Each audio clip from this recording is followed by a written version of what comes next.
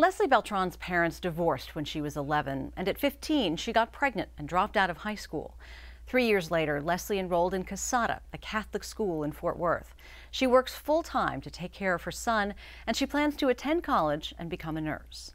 So, when you first got pregnant, did you think, okay, I have to drop out of school? Were there options for you, but you just didn't want to consider them at the time? How, how did that all work out? After I got pregnant, education really didn't cross my mind. It didn't seem as important to me as it as having the baby and working hard. Four months after my son was born is when I actually start, got my first job and started working. I'm still there. I just felt like education was is my only way out. I don't want to be there forever. So what do you want to be now?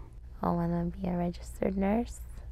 What made you think about nursing? I think honestly, my whole experience with my pregnancy, since then, I started, I just enjoyed the care so much. Besides you, who do you think has always believed that you would graduate and then go on to college?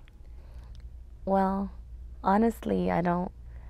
My mom hasn't been around, been around ever since my pregnancy, and I could say a little bit even before that. Are you still in contact with your dad? Yes, with my dad, he has. It was just when after having my baby, I had always lived. Well, even during my pregnancy, I was living with my baby's father.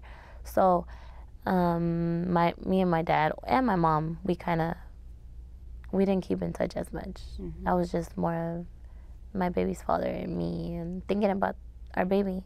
And even when he was born, it was just the three of us, and much support of his family. They were very supportive. My mom wasn't my mom wasn't as supportive. She she kind of um that hurts. Yeah, it does. It does because I would I would have wished she was there. I wanted her there. Do you think there's still a chance for that someday?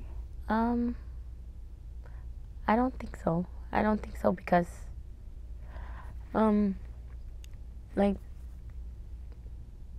I don't hold nothing against her. I don't. She's my mom, and I will always love my mom.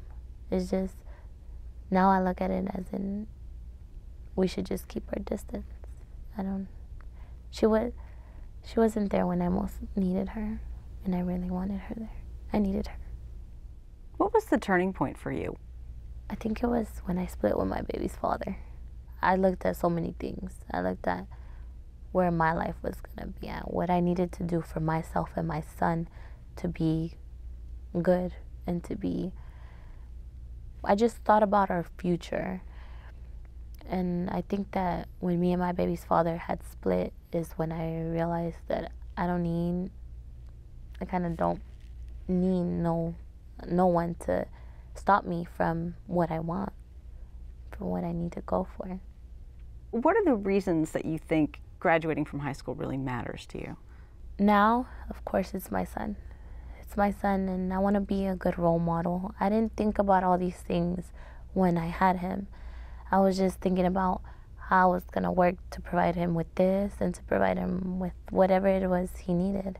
Since you went back to school, was there ever a point where you came close to giving up? Yes, actually. There was a point where I was like, I can't work and school and my son, having to know or to see where he's going to be at. I, I honestly thought I wasn't going to be able to go back to school after dropping out for three years. I was like, oh my God, my, my mind's going to be blank. I'm not going to know anything. I don't know what to do. But in the end, I know I know it's going to pay off, and I know I need to do it, especially for him. I want him to be able to see me graduate and of course, because I will be graduating with him by my side.